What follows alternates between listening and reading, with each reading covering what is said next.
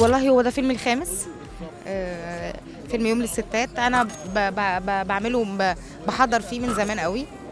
حصلت ظروف توقف الفيلم لأسباب عديدة.